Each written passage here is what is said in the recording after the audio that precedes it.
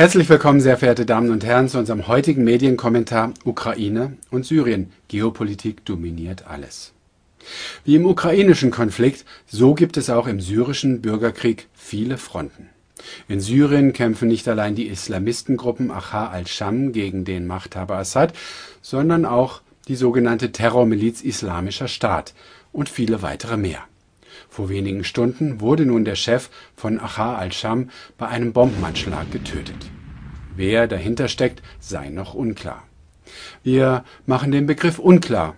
Jetzt gleich einmal zum Thema. An dieser Stelle muss man sich einmal fragen, warum unsere Medien eigentlich ständig über Konflikte berichten, deren Zusammenhänge überhaupt noch nicht geklärt sind. Anscheinend liegt das Verschaffen größerer Klarheit gar nicht im eigentlichen Interesse der öffentlichen Medien.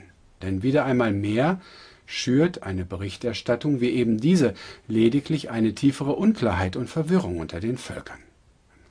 So oft daher durch die Medienwelt wieder solche Unklarheiten hochstilisiert werden, sollte die Zuschauer bzw. die Leserschaft die einfachen Grundsätze der modernen Kriegsführung aufs Neue studieren. Wir von Klagemauer TV bieten zahlreiche solche Kurzstudien auf unseren Themenblöcken und Schulungs-DVDs zum Ukraine- und Syrien-Konflikt an. Studieren Sie dieselben immer wieder aufs Neue und verschaffen Sie sich so in nur wenigen Minuten neue Klarheit. Auch in unserer heutigen Sendung wollen wir diese lebenswichtigen Studien aufs Neue vertiefen. Wann immer nämlich, in welchen Krisengebieten auch immer, die Konstellationen der Konfliktparteien immer nur noch komplizierter und noch unüberschaubar dargestellt werden, geschieht dies zuerst einmal nicht zufällig, sondern ganz gezielt und strategisch gewollt. Warum dies?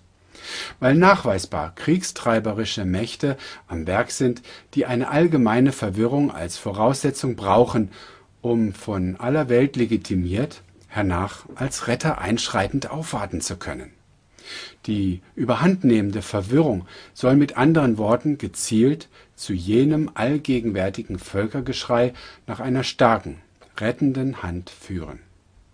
Die US-Regierung will um jeden Preis genau diese rettende Hand sein, auch für uns Europäer, zum Beispiel vor der vermeintlich russischen Gefahr was uns natürlich verschwiegen wird, aber schon längst nachweislich ans Licht gekommen ist, ist die Tatsache, dass die US-Regierung selber zuvor diese Konflikte gezielt geschürt hat. So auch in all jenen arabischen Ländern, die sie erst kürzlich dann vor unser aller Augen befreit hat. Ganz einerlei, also ob im sogenannten arabischen Frühling, im Ukraine, im Syrien oder in was auch immer für einem Konflikt, die moderne Kriegsstrategie ist immer ein und dieselbe. Alles muss so kompliziert und auswegslos erscheinen, dass die Weltgemeinschaft nicht mehr mitkommt und heilfroh ist, wenn endlich jemand Vertrauenswürdiges kommt und es in die Hand nimmt. Daher hören wir ständig von den immer zahlreicher werdenden Terror- und Antiterror, nationalistischen und antinationalistischen, religiösen und antireligiösen Konflikten in aller Welt. Doch das scheinbar komplizierte Spiel ist sehr einfach und leicht zu verstehen, wenn man es erst einmal durchschaut hat. Wir fassen hier die wichtigsten Grundsätze noch einmal in aller Kürze zusammen. Nahezu sämtliche Konflikte in den uns bekannten Krisengebieten entstehen nicht einfach zufällig. Diese Konflikte wurden vorab ganz gezielt provoziert und strategisch geplant. Wer provoziert und plant gerade gezielt die Konflikte? Nachweislich die US-Regierung unter Missbrauch ihrer Geheimdienste und der NATO. Warum tut sie das? Weil sie ihre Vorherrschaftsstellung in der Welt behaupten und ausbauen möchte. Dann geht es der US-Regierung also gar nicht wirklich um die Demokratisierung all der Länder, die sie gerade von ihren Diktatoren befreien? Nein. Um was geht es der US-Regierung dann? In einem ersten Schritt geht es ihr um die völlige Destabilisierung dieser Länder, dann um ihre eigene Vorherrschaftsstellung in denselben. Ist das alles? Nein, es geht ihnen auch um die Bodenschätze all jener Länder, und schließlich darum, dass sie ihre und die militärischen Stützpunkte der NATO ausbauen können. NATO-Stützpunkte? Die NATO ist doch ein militärischer Verteidigungs- und kein Angriffspakt. Wenn man hinter dem Rücken der NATO gezielt die Völker aufwiegelt, dieselben ins Chaos stürzt und so lange destabilisiert, bis die Notlage nur noch durch einen vereinigten humanmilitärischen Verteidigungsakt lösbar scheint, kann man die NATO zur Angriffsarmee instrumentalisieren. Gegen wen richten sich diese militärischen Stützpunkte? Allem voran gegen Russland, den Iran und China. Nebst dem US-erklärten Ziel der Demokratisierung bringen die Medien all diese Konflikte doch immer wieder in den untrennbaren Zusammenhang mit islamischem Extremismus, Rechtsextremismus, Rassismus und natürlich Antisemitismus und dergleichen. Geht es denn letztlich gar nicht um all diese religiösen, ideologischen oder politischen Extreme? Nein, absolut nicht. Das sind alles nur billige Vorwände, die die wahren Machthaber und Kriegstreiber in Wahrheit keinen Deut interessieren. Um was geht es den US-Kriegstreibern denn sonst, wenn nicht um Demokratie, Dialog, Recht und Ordnung? Es geht alles und jedes um Geopolitik. Was ist Geopolitik? Geopolitik meint die Einwirkung geografischer Faktoren und Interessen auf politische Vorgänge und Kräfte. Wer nach Weltherrschaft strebt, muss sämtliche rivalisierenden Länder strategisch beherrschen.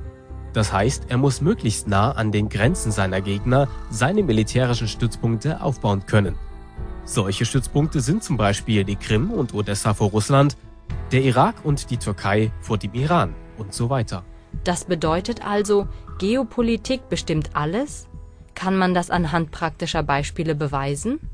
Aber sicher, das kann man überall sehen, die US-gesteuerte EU und die europäischen Staaten zum Beispiel fördern und unterstützen rechtsextremistische und gewalttätige Gruppen außerhalb der EU-Grenzen, die sie innerhalb der EU mit geradezu melodramatischem Aktionismus und mit sündhaft teuren Programmen gegen rechts bekämpfen. Was bedeutet dies praktisch angewandt auf die Ukraine-Krise? Bei den Machthabern in Kiew handelt es sich doch um ein sehr ungewöhnliches Bündnis. Zu diesem gehörten typische Liberale, Anarchisten, Homo-Lobbyisten, aber auch nationalistische und rechte Gruppen. Im Westen wäre ein solches Bündnis völlig undenkbar. Zwischenfrage.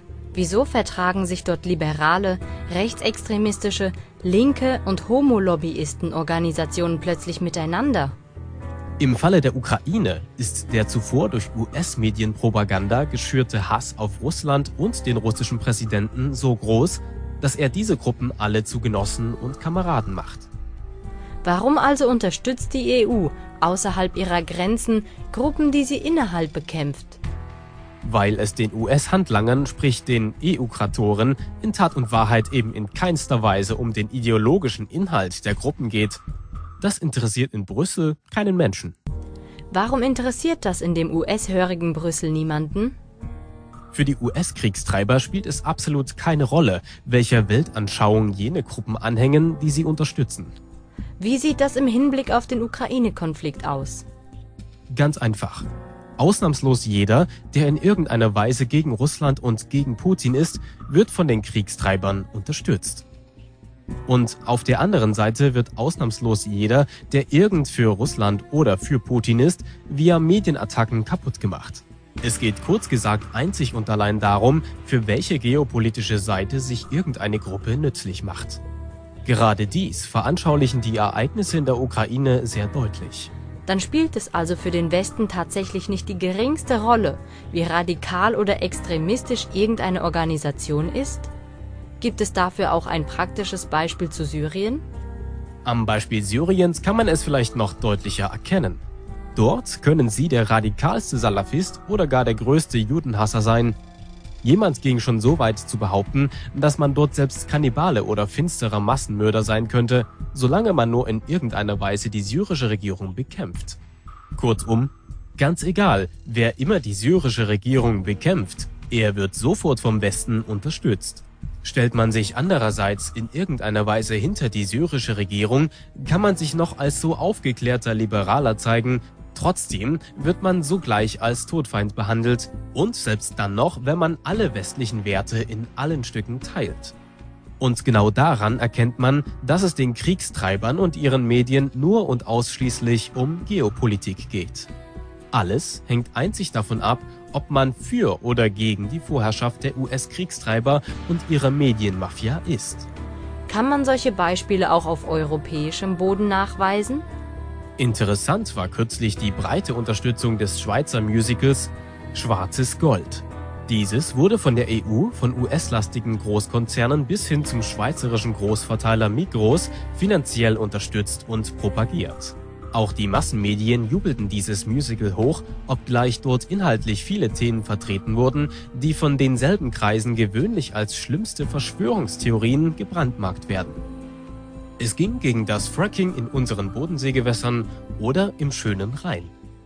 Wenn man das Ganze einmal durch die geopolitische Brille betrachtet, stellt man leicht fest, dass die USA gerade dabei ist, uns Europäern durch ihr eigenes Fracking gewonnenes Gas und Öl anzupreisen, um uns vor dem gefährlichen Gas- und Ölpartner Russland zu retten. Die Botschaft lautet daher, Europäer, Hände weg von Fracking auf eurem eigenen Boden. Alles nur keine Unabhängigkeit von den USA dann dient eigentlich all dieses Mediengelaber um terroristische Einheiten, religiöse Fanatiker, Separatisten, Nazis und wie sie alle immer geschimpft werden, nur zur Ablenkung? Ja, genau so ist es. Es wird immer alles so hoch gepusht, dass viele komplizierte landesinterne Verstrickungen im Vordergrund stehen. Dabei geht es letztlich immer nur um zwei Positionen. Welche zwei Positionen sind jetzt gemeint? Entweder ist man für diejenigen, die nach der Vorherrschaft streben, oder man ist gegen sie. Nicht mehr und nicht weniger. Ist damit gemeint, dass es noch nicht einmal eine dritte Position zu wählen gibt? Ja, genau so ist es. So viele sogenannte Separatisten, Nationalisten und so weiter haben zwar aufrichtig für ihr eigenes Anliegen gekämpft, mussten dann aber irgendwann verstehen lernen, dass es ihre eigene unabhängige Option in Wirklichkeit nie gab. So mussten aufrichtigste tschetschenische Separatisten irgendwann einfach einsehen, dass sie in Tat und Wahrheit bloß an der Seite des Westens gegen Russland kämpften. Sie waren nicht mehr und nicht weniger als geopolitisch instrumentalisierte Kämpfer des Westens. Auch die rechtsextremistischen Hooligans, die heute die liberalen Oligarchen in Kiew beschützen, werden eines Tages einsehen müssen, dass ihre eigene Option in diesem Komponentenspiel absolut keine Bedeutung hat. Dasselbe gilt für den ukrainischen Nationalisten als auch für den salafistischen Kämpfer in Syrien. Sie alle kämpfen allein für die Sache der US-Kriegstreiber, sprich des Westens. Und wenn all diese für ihre eigenen Interessen kämpfenden Gruppierungen und Organisationen ihren Dienst für die USA unwissentlich ausgeführt haben, werden sie von denselben zuletzt wie alle anderen kriminalisiert, bekämpft und wie nutzloser Abfall entsorgt. Mit dieser kurzen Zusammenfassung hoffen wir, verehrte Zuschauerinnen und Zuschauer, wieder etwas Klarheit in die kompliziert dargestellten Berichterstattungen der Massenmedien gebracht zu haben. Bitte geben Sie dieses Wissen weiter, damit die Kriegstreiber und die von ihnen instrumentalisierten Medien durch das Volk entmachtet werden können. Besten Dank. Bis morgen wieder um dieselbe Zeit hier bei uns, bei Klagemauer TV. Schönen Abend.